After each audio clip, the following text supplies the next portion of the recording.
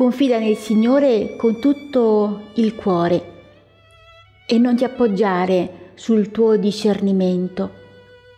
Riconoscelo in tutte le tue vie ed egli appianerà i tuoi sentieri.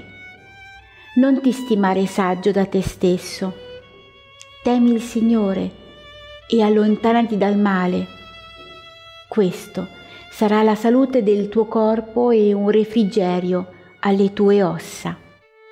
La risposta positiva alla ricerca della saggezza di Dio conduce ad una nuova prospettiva di vita in cui il tormentone è sempre quello. Ricorda, non dimenticare. Per i proverbi la memoria della legge è garanzia di una lunga vita che comporta un senso di pienezza dove è presente sì l'idea della pace, ma anche del benessere e della salute.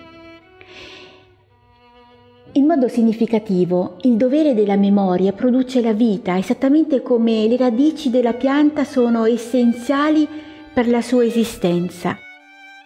Camminare con fede nel Signore significa non appoggiarsi sulle proprie conoscenze o sulle proprie certezze, che per quanto profonde possano essere, sono sempre insufficienti. Ritorna insistentemente il concetto della posizione da acquisire. Essere figlio, e tutti noi lo siamo, impone necessariamente la posizione di creatura, anche quando le vie sono incomprensibili, anche quando l'illogica scelta si, inco- si impone come giustizia. Cammina con me con tutto il tuo cuore. Ecco l'altro appello di Dio, forte e chiaro, gridato tra le piazze della città, tra i vicoli di ogni paesino, talvolta sussurrato all'orecchio di un corpo troppo stanco e provato dagli eventi della vita.